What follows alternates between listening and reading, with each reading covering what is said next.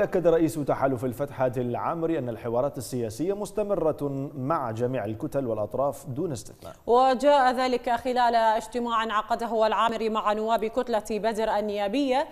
أكد فيه أن الإطار التنسيقي متماسك وماض بالانفتاح على الجميع ومستمر بالحوارات السياسية مع باقي الأطراف والكتل دون استثناء.